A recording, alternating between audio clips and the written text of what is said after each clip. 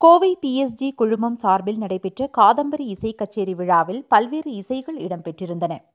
கோவை பிறந்த தினத்தை கொண்டாடும் வகையில் பல்வேறு இடங்களில் வித்தியாசமான நிகழ்ச்சிகள் ஒரு வாரமாக நடைபெற்று வருகிறது.